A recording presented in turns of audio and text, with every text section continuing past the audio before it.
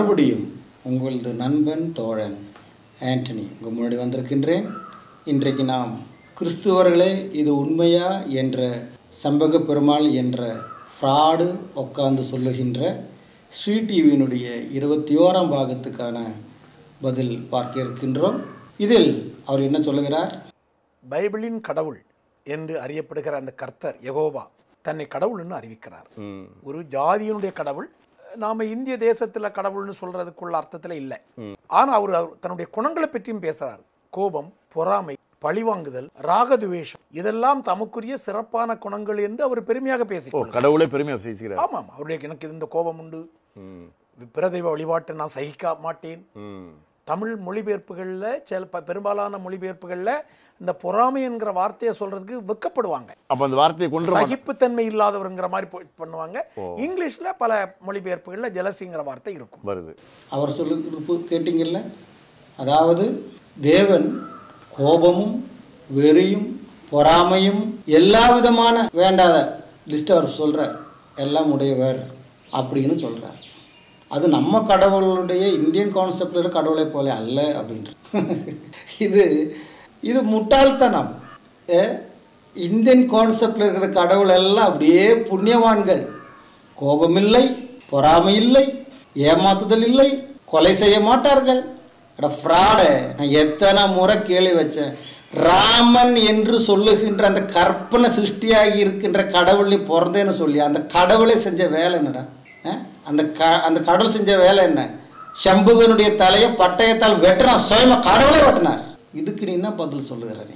சொந்தம் குடும்பத்துக்கு மத்தியில் பிரிவினை உண்டாக்கி சண்டை போட்ட கதை தானே உன்னுடைய பஞ்சபாண்டவர்கள் மகாபாரதத்தில் இருக்கின்ற விஷயம்?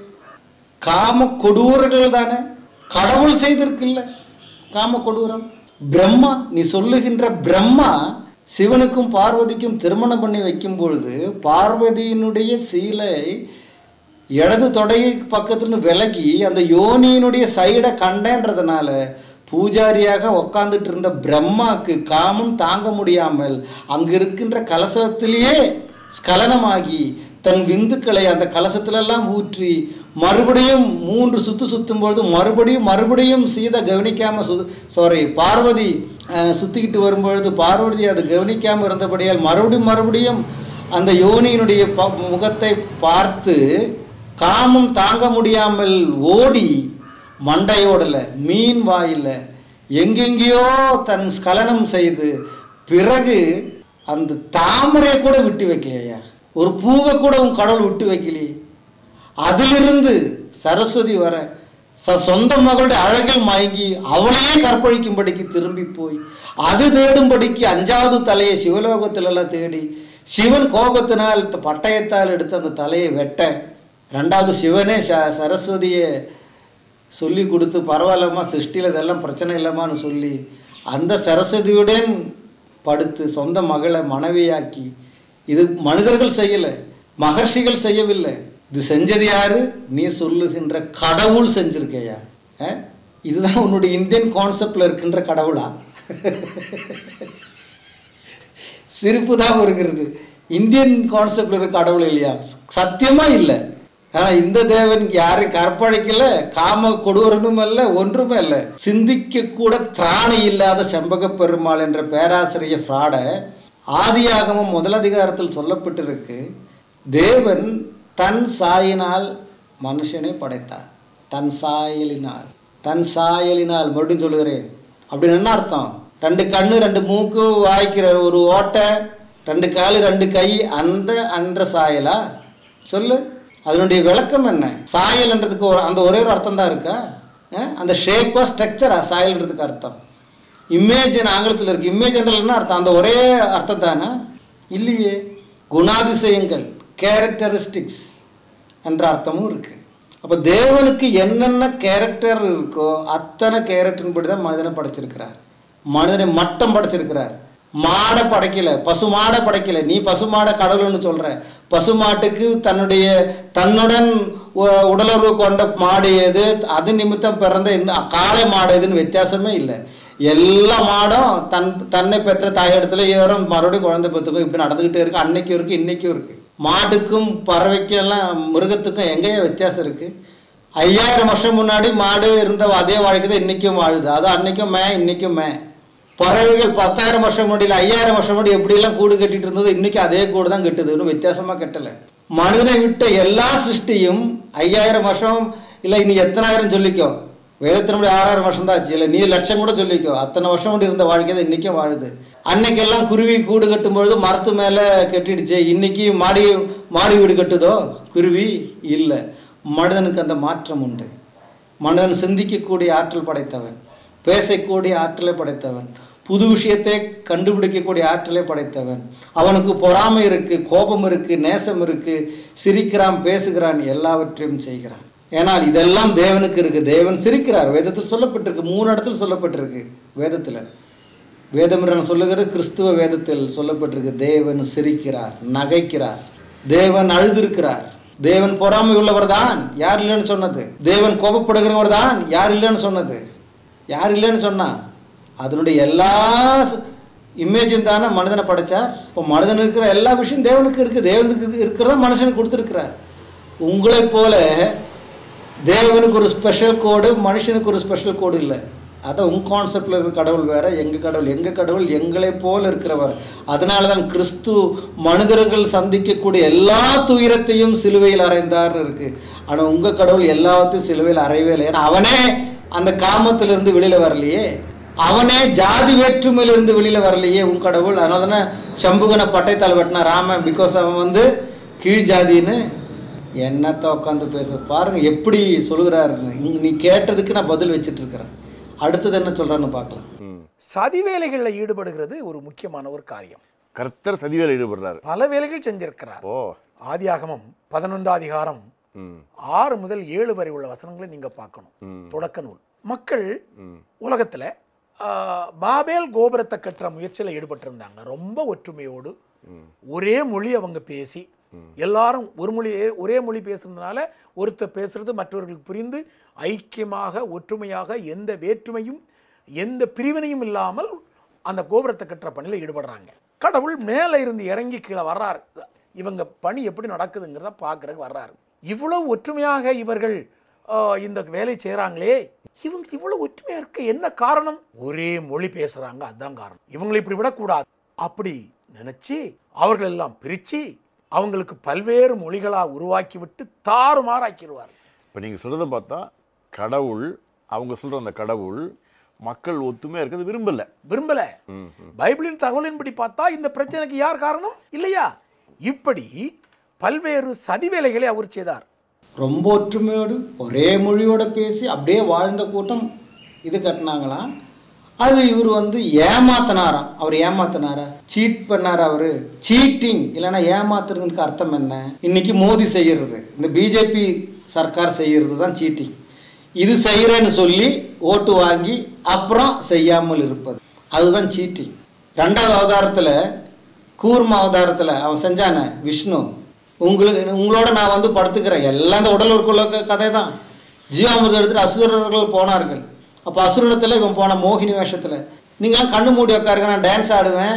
யார் அதிக நேரம் கண்ணு மூடி இருக்கீங்களோ அவங்களோட நான் வந்து உடலுறவு கொள்ளுகிறேன் நான் படுக்கிறேன் அப்படின்னு சொல்லி எல்லாரும் ஏமாற்றி கண்ணு மூட வச்சு ஏமாத்திட்டு இது கண்ணு மூடிட்டு இருக்கும்போது அந்த ஏமாற்றி அந்த பாத்திரத்தையே எடுத்துகிட்டு போனான். இதுதான் ஏமாத்துறது. ஆனால் இங்கு நடந்தது ஏமாற்றம் அல்ல. இங்கு நடந்தது.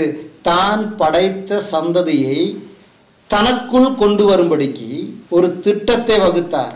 அந்த திட்டத்தை நிறைவேற்ற வேண்டுமென்றால் இந்த விஷயம் தடையாக இருக்கும் என்று எண்ணி அவர் அதை செய்தார். எப்படி? வேதம் சொல்லுகிறது பாபம் செய்து அவனை ஏதன் தோட்டத்திலிருந்து வெளியாக்கினார். தன் கையை நீட்டி ஜீவபுருஷத்தின் கனியை புசித்து நித்திய நித்தியமாக வாழ்வான். எப்படி? பாபம் செய்து பாபியானான். ஜீவருஷத்தின் கனியை புசித்தால் சாகாமலும் இருப்பான். அப்போ ஒரு பாபி சாகாமல் நித்திய நித்தியமாக வாழ்வான். அவனுக்கு பிறக்கிற சந்ததிகள் எல்லாம் பாபியாகவே நித்திய நித்தியமாக இருப்பார்கள். இதற்கு தேவன் மனிதனை படைக்கவில்லை. படைப்பு நோக்கமே வேறு. அது நம்ம இதோட வருகின்ற வேற எபிசோட் இதுக்குள்ள பதில் வரும். அப்போ சொல்கிறேன். இப்போ அந்த நோக்கத்தை நிறைவேற்ற வேண்டும் என்றால் இவர்கள் ஒன்று கூடி இருப்பது தவறல்ல. ஒன்று கூடி இருந்து தேவன் தான் படைத்த எண்ணெய் அவர்கள் மதிக்காமல் தங்களுடைய இஷ்டத்தின்படி வாழுகிறார்கள். தாங்கள் நினைத்ததெல்லாம் செய்கிறார்கள். இது விட்டு வைக்கக்கூடாது என்று சொல்லி அவர் அதை அழிக்கிறார். அதற்கு மூல காரணமாக இருந்த ஒற்றுமைன்னு பார்க்கும்பொழுது பாஷை தான் மூல காரணம். அந்த பாஷையை அவர்கள் என்ன பண்ணுறார் பிரிக்கிறார். வேறு வேறு வேறு பாஷையாக அவர் பிரிக்கிறார். அதில் ஒரு உண்மை இருக்குது இன்றைக்கு உலகத்தினுடைய பாஷை நிபுணர்கள் ஆராய்ந்து ஆராய்ந்து பார்த்து என்ன சொல்கிறார்கள்? உலகத்தில் இருக்கின்ற அத்தனை பாஷையும் ஒரு பாஷையிலிருந்து வேறுபட்டு வந்தது என்று திட்டவட்டமாக சொல்லுகிறார்கள் நிரூபிக்கிறார்கள். அதை இந்த சங்கப்ப பெருமாளுக்கு எதிர்க்க முடியுமா? சொல்லணும். கேள்வி வச்சுட்டேன் நான். என்னுடைய கேள்வி. உலகத்தில் இருக்கின்ற பாஷை பற்றி ஆராய்கின்ற நிபுணர்கள் சொல்லுகிறார்கள் உலகத்தில் இருக்கிற அத்தனை பாஷையும் ஒரு பாஷையிலிருந்து வந்தது என்று. All languages are derived from one single language அப்படின்னு அவங்க சொல்கிறாங்க இதை உண்மையா பொய்யா? சங்க பெரும் செம்பக பெருமாள் சொல்லணும். இது உண்மை என்றால் வேதம் சொல்லுகிற உண்மை. உன்னுடைய எந்த புராணத்திலும் அது சொல்லலை. உன்னுடைய எந்த இந்துத்துவ புத்தகத்தில் அது சொல்லலை. உலகத்தில் எந்த புத்தகத்திலும் அது சொல்லலை. பைபிளை விட்டு. அப்போ பைபிள் சொல்லப்பட்டிருந்த விஷயம் உண்மை. இது சதி அல்ல. சதி என்றால் என்ன? பதுங்கி இருந்து அவங்க செய்யக்கூடாதபடிக்கு நான் செய்ய மாட்டேன்னு சொல்லி பதுங்கி இருந்து அவங்கள செய்கிறது இதுதான் சதி. சதி வேலை என்பது. இதை நீ சதி என்று சொல்லாத. சதி என்ற வார்த்தையினுடைய அர்த்தத்தை புரிந்து கொள் ஒருவனுக்கு பத்து ரூபா நான் தரேன்னு சொல்லிட்டு அவனை ஏமாத்துறது தான் சதி. இல்லைன்னா நூறு ரூபா தரேன்னு சொல்லிட்டு கள்ள நோட்டு கொடுக்கறது அது சதி. இன்னைக்கு அமித்ஷா செஞ்ச மாதிரி பிஜேபி கவர்மெண்ட் செஞ்ச மாதிரி. எங்களுக்கு ஓட்டு போடுங்க. நாங்கள் வந்து கள்ள நோட்டெல்லாம் பிடிச்சி கள்ள பணத்தையும் பிடித்து ஒவ்வொருத்தருடைய பேங்க்லையும் பதினே பதினஞ்சு லட்சம் போடுறேன்னு சொல்லி ஏமாத்தி ஜனங்களை வஞ்சித்து அது சதி. இதை நம்பி அநேகர் ஓட்டு போட்டார்கள். ஆக இது சதி. ரெண்டு கோடி ஜனங்களுக்கு வேலை தரேன்னு சொல்லிட்டு ரெண்டு பேருக்கு கூட வேலை கொடுக்கல. இது சதி. போன வருஷம் அஞ்சு ட்ரில்லியன் அளவுக்கு நம்மளுடைய எக்கானமி டெவலப் ஆகணும்னு சொல்லிட்டு மூணு பாயிண்ட் எட்டில் வந்து நிற்கிது இப்போ ஜிடிபி இது சதி. ஓட்டு வாங்கும்போது உங்களுக்கு எல்லாரும் ஓட்டு கொடுங்கன்னு சொல்லிட்டு எல்லாரும் ஓட்டை வாங்கி உக்காந்ததுக்கு பிறகு நீ முஸ்லீம் நீ வந்து வெளிநாட்டிலேருந்து வந்தவன் நீ உனக்கு நான் இது தரமாட்டேன் இதுக்கு தரமாட்டேன் இப்போ என்ஆர்சி கூட சிஏ கூட ஓட்டு வாங்கி உக்காந்ததுக்கு பிறகு அவங்க இப்போ இந்த இவங்க முடியாதுன்னு சொல்கிற அத்தனை பேர் ஓட்டு போட்டிருக்காங்கல்ல அந்த ஓட்டு வாங்கி தான் நீ உட்காந்துட்டு இருக்கிற?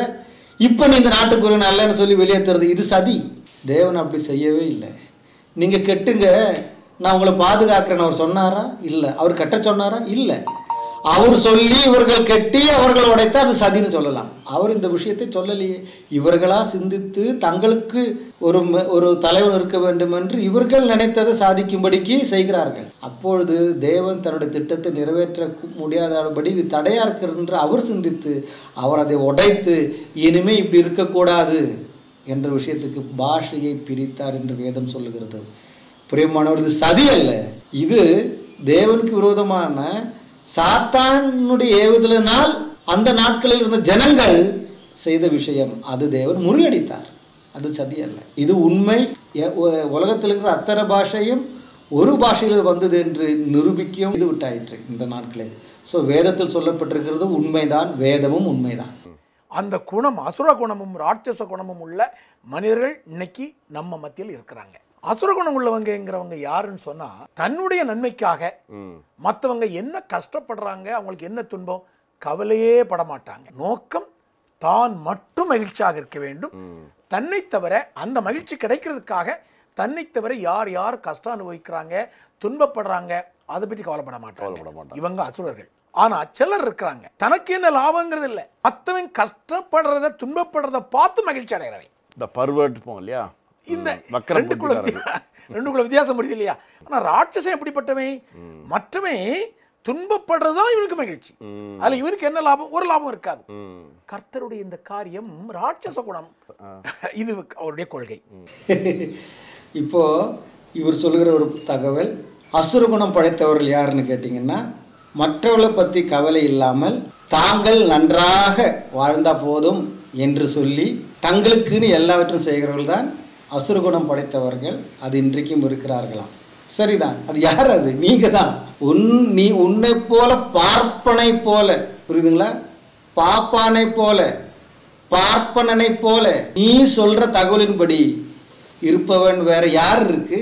நீங்க தான் அந்த அந்த அசுரர்கள். மற்றவர்களை கொன்று மற்றவர்களை பிரித்து இந்தியா இந்தியாவுக்குள் நுழையும் போது அப்படியே பாவம் போல நுழைந்து ஆதிக்கத்தை பிடித்து அதுக்கு பிறகு ஜாதிகள் என்று சொல்லி பிரித்து தனக்கு சாதகமாக இருக்கிறவர்களை தன்னுடன் சேர்த்து மற்றவர்களை அவர்களை வச்சு அழித்து நாங்கள் எல்லாம் தலையிலிருந்து வந்தவர்கள் இவர்கள் எல்லாம் புஜத்திலிருந்தும் மற்றவர்கள் எல்லாம் தொடையிலிருந்தும் நீங்கள் பாதத்திலிருந்தும் வந்துன்னு சொல்லி அவங்களை கொடுமைப்படுத்தி தங்களுடைய சுயபோக வாழ்க்கைக்கு மற்றவர்களை பயன்படுத் பயன்படுத்தினீர்கள் பயன்படுத்தி கொண்டும் இருக்கிறீர்கள். இப்போவும் இல்லாத கெட்டு கதைகளை சொல்லி ஜனங்களை வஞ்சித்து உங்களுடைய சுகபோகமான வாழ்க்கைக்கு மற்றவர்களை பயன்படுத்துகிறீர்கள். இப்போ நீங்கள் தான் அந்த அசுரர்கள். இந்த ராட்சச குணம் யார்? அதுவும் நீங்கள் தான். நீங்கள் உன் வார்த்தையின்படியே மற்றவர்களை துன்பப்படுத்துவதில் கண்டதில் உங்களுக்கு ஒரு சந்தோஷம் மிகுந்த சந்தோஷம். யூபி உன்னாவில் நடக்கிறது என்ன? உன்னாவில் அதே இந்து ஜனங்கள் தான். ஒன்றும் முஸ்லீம்ஸ் நீ தொடலை. இந்து ஜனத்தை அந்த இந்து எம்எல்ஏ வீட்டில் அந்த பொண்ணு வேலைக்கு போய் அவளை எத்தனையோ முறை கற்பழித்து கேட்க போன தாயை கொன்று கேட்க போன தகப்பனை அடித்து கொன்று அந்த குடும்பத்தை சித்திரவதம் பண்ணி இன்னொரு குடும்பத்தை எரித்து நீங்களே உயர்ந்த ஜாதிகளான நீங்களே மற்றவர்களுடைய துன்பத்தை கண்டு ரசிக்கிறீர்கள். மற்றவர்களை அடிமைப்படுத்தி அதை கண்டு ரசிக்கிறீர்கள். நீங்க தான் அந்த ராட்சசர்கள் வேற யாருமே அல்ல. மற்றவர்களை சண்டை போட வைத்து வேடிக்கை பார்த்து சிரிக்கிறீர்கள். ஆர்எஸ்எஸ்ல ஏமா அடிபட்டு சாகுறான்? பிராமணனா? இல்லையே. நூறு ஆர்எஸ்எஸ் கூட்டத்தில் ஒருத்தர் ரெண்டு பேர் தான் பிராமணன் இருப்பான். மற்றது அத்தனையும் கீழ் ஜாதியில் உள்ளவங்க. அவங்கள ஏமாற்றி தலை கழுவி அவங்கள அடிக்க வைக்கிறது. அவங்களுக்குள்ள சண்டை போட்டு விடுறது. அவங்களுக்குள்ள நீ மேல் ஜாதி நீ கீழ் ஜாதிடா? பாடுறா இப்படின்னு சொல்லிட்டு அவங்கள சண்டை போட்டு விடுறது. இவன் கண்டு ரசிக்கிறது. அப்புறம் பெருசாக சொல்கிறது எந்த கலவரத்திலும் பிராமணன் பங்கு கொள்ளலையே. எத்தனை பேர் மேலே கேஸ் இருக்குன்னு கேட்கறது சண்டை போட வச்சது யாரு? நீ. ரசிக்கிறது யாரு? நீ. தப்பித்துக் கொள்வது யாரு? நீ. மாற்றுறது யாரு? அவன். அப்போ ராட்சச குணம் படைச்சது யாரு? நீ. நீ ஆனால் உட்காந்துட்டு என்ன சொல்கிற பைபிளில் பழைய ஏற்பாடில் சொல்லப்பட்டிருக்கின்ற தேவன் தான் ராட்சச குணம் படைத்தவர். அவர் அதை கண்டு மகிழ்ச்சி அடைகிறார் அப்படி வேதம் சொல்லுகிறதா? தேவன் மகிழ்ச்சி அடைந்தார் என்று வேதம் சொல்லுகிறதா? கொஞ்சம் காட்டேன் பார்ப்போம். என்னுடைய கேள்வி வைக்கிறேன். நீ பதில் சொல்லணும். உப்பு போட்ட சோறுன்றனால தான் நீ பதில் சொல்லணும். அடுத்தது என்ன சொல்றதுன்னு பார்ப்போம். ஆகாருக்கு குழந்தை பிறந்த பிறகு சாராளு குழந்தை பிறக்குது. அந்த ஆள் தான் ஈசாக்கு. ஈசாக்கு குழந்தை பிறந்த பிறகு சாரா பயப்படுறா சொத்துல பங்கு வைக்கணுமே. அடிமையினுடைய பையனுடைய அடிமை பெண்ணின் குழந்தை உரிமை பெண்ணினுடைய பங்காளியாக கூடாது. அவனுக்கு பெத்த பாசம் ஆபிரகாமுக்கு அவருக்கு மனசு வரல. வரல. ஆனா கடவுள் என்ன சொல்லுகிறார்? அவனை விரட்டி சொல்றார். எனவே அடிமை பெண் விரட்ட சொல்றாரு. அடிமை பெண்ணையும் குழந்தையும் விரட்ட சொல்றார். எனவே தன்னுடைய சொந்த குழந்தைக்கு தானே தந்தையாக இருக்கக்கூடிய வாய்ப்பை இந்த கர்த்தர் என்கிற இந்த பைபிளின் கடவுள் மறுக்கிறார். இதை நம்ம கவனத்தில் கொள்ளணும். இது எவ்வளோ பெரிய பொய் பாருங்க. தனக்கு பிறந்த இஸ்மாயேலுக்கு தகப்பனாக அப்ரஹாம் இருக்கக்கூடிய உறவை தேவன் மறுக்கிறாராம். பார்த்தீங்கல்ல என்ன சொல்கிறார் உன் இவனை பற்றி நீ கவலைப்படாதே. இவனையும் நான் வளரச் செய்வேன். இவனுக்கு பன்னெண்டு கோத்திரங்கள் உண்டாகும். சொல்கிறாரா இல்லையா? இவனையும் நான் ஆசிர்வதிப்பேன். இவனை பெரிய சந்ததியாக்குவேன். இவனை பற்றி நீ கவலைப்படாதே. எங்கேயாவது சொன்னாரா? அவன் உன்னுடைய மகன் என்று சொல்ல முடியாது. இல்லை அவன் உன்னை தகப்பன் என்று அழைக்கக்கூடாது. உனக்கும் அவனுக்கும் எந்த சம்மந்தமும் இல்லை என்று அவர் சொன்னாரா? எப்படி இவர்கள் பரட்டுகிறார்கள்? இவ்வளோ சொல்கிறாங்களே நான் ஒன்று கேட்குறேன் இந்த மகாபாரதத்தில் ஒரு கேரக்டர் வருது குந்தி. குந்தி வீட்டில் வந்து ஒரு ரிஷி வந்து தங்குறார். குந்தி வயசுக்கெல்லாம் வரல அதுக்கு முன்னமே. அப்போ குந்தியை நல்லா பார்த்து பார்த்தனா பார்க்குற நல்லா இருக்கிறான் நல்லா பழகுறான்னு கண்டு அவளுக்கு ஒரு சீக்ரெட் சொல்லி கொடுக்குறாரு. ஆறு மந்திரம் சொல்லி கொடுக்குறார் இந்த ரிஷி குந்திக்கு. உனக்கு எப்போ குழந்தை வேணும்னு நினைக்கிறியோ யாருடன் குழந்தை பெற்றுக்கணும்னு நினைக்கிறியோ அவரை பார்த்து இந்த மந்திரம் சொன்னால் போதும் உனக்கு குழந்தை பிறக்கும்னார். குந்திக்கு ஒரே சந்தோஷம். ஆ இப்படி இருக்கு? ஆறு மந்திரம். ஒவ்வொரு மந்திரத்துக்கு ஒவ்வொரு குழந்தை. கொஞ்ச நாளுக்கு பிறகு இந்த ரிஷி போனார். குந்தி வயசுக்கு வரல. சூரியனை பார்த்தா இவளுக்கு ஒரு மோகம் உண்டாயிடுச்சு. சூரியன் ரொம்ப மோகிக்கக்கூடியது தானே? இப்போ சூரியனை பார்த்து இவ்வளோ ஒரு மந்திரத்தை சொன்னான் சொன்ன உடனே குழந்தை பிறந்திருக்கு. வயசுக்கு வரல. அந்த குழந்தை தான் கர்ணன். ரொம்ப நம்பலாம் பாருக்கு சரி இந்த கர்ணன் இப்போ குந்தியுடைய மகன். பாண்டுவுக்கு பிறந்தவரா? இப்போ அந்த கர்ணனையும் மற்ற பிள்ளைகள் பிறந்திருக்கு. அது வேற விஷயம். பாண்டுவனுடன் உடலூர் கொண்டு பிறந்த பிள்ளைகள் அது வேற. அது துரியோதனன் அந்த கூட்டம். அப்போ இங்கே சொல்லப்பட்டிருக்கு தேவன் அப்ராமுக்கும் ஈசாக்குக்கு தகப்பனாக கூடாது என்று அனுப்பினாராம். சரி. இப்போ இந்தியன் கான்செப்டில் இருக்கிற இவங்களுடைய கடவுள் என்ன செஞ்சிருக்கு? மனைவி கனவு இருக்கும் பொழுது மந்திரம் சொல்லி மந்திரம் சொல்லி நிறைய பிள்ளைங்களை பெற்றெடுத்தா அது யார்? சாதாரண இல்லை. கடவுள்களுடன் சேர்ந்து பெற்றெடுத்தா அப்போ அந்த பிள்ளைகளை பாண்டுகிட்ட இருந்து பிரிக்கிறாங்க. இதுக்கு மத்தியில் யுத்தமும் செஞ்சு பாண்டு பிள்ளை. பிரிக்கிறாங்க. அது எப்படி? அப்போ அந்த பாண்டுக்கு இந்த பிள்ளைகளுக்கு தகப்பனாக இருக்கக்கூடிய உரிமை இல்லையா? கொஞ்சம் விளக்கணும். நீ அப்ராமோட விஷயத்தை சொல்றியே. அது ஏன் நடந்திருக்கு? தேவன் சொல்லி ஆகாரிடத்தில் இஸ்மாயிலை பெற்றெடுக்கவில்லை. தேவன் சொல்லி பெற்றெடுக்கிறது சாரால் இடத்துல இருந்து ஆகார் இடத்துல இருந்து அல்ல. சரி இப்போ அந்த குழந்தைய நான் ஆஸ்வதிக்கிறேன். அவனையும் பெரிய ஜாதி ஆக்குறேன் ஆனால் என்னுடைய திட்டம் நிறைவேற்றுறது இசாக்கின் மூலமாக பிறக்கின்ற ஜாதி. அதற்கு தான் அவர் இஸ்மாயில் அனுப்புகிறார் ஆனால் இஸ்மாயிலும் இசாக்கும் தொடர்ந்துள்ள புத்தகம் படிக்கும் பொழுது அவர் சகோதரரை போல் தான் வாழ்ந்தார்கள். அப்ராம் மறித்து அடக்கம் பண்ணும்போது இஸ்மாயிலும் வந்திருக்கிறான் அடக்கம் பண்ணுறதுக்கு இஸ்மாயிலுடைய மகளை இசாக்கினுடைய மகன் ஏச திருமணம் பண்ணியிருக்கிறான். அதனால் நீ வேற்றுமை விதைக்கிறது போல் அந்த காலத்தில் நடக்கலை. அவர்கள் குடும்ப சகோதரர்களாக தான் வாழ்ந்து கொண்டிருந்தார்கள். புரியுது புரியுதா? செம்பக பெருமாளே நான் கேள்வி வச்சிருக்கிறேன். பிரியமானவர்களே செம்பக பெருமாள் கொடுத்த வாய்ப்புக்கு தேவன் அவரை ஆஸ்வதிக்கட்டும் அவருடைய கண் திறக்கட்டும். அவர் பேச பேச தான் நமக்கும் பேச வாய்ப்பு கிடைக்கிறது. இது தேவனால் உண்டான ஒரு விஷயம் என்று நினைக்கிறேன். பார்க்கின்ற அநேகருடைய கண்கள் திறக்கப்படுகிறது அநேகர் ஆஸ்வதிக்கப்படுகிறார்கள் மறுபடியுமாக சொல்கிறேன் கர்த்தருடைய வருகை மிக சமீபம். தப்பித்துக் கொள்வதற்கு ஒரே வழி கர்த்தராக இயேசு கிறிஸ்து. அவரை விசுவாசியுங்கள் நீங்களும் உங்கள் குடும்பம் ரட்சிக்கப்படுவீர்கள் கர்த்தர் உங்களை ஆஸ்வதிப்பாராக ரெண்டாம் பாகத்தில் தொடரும்.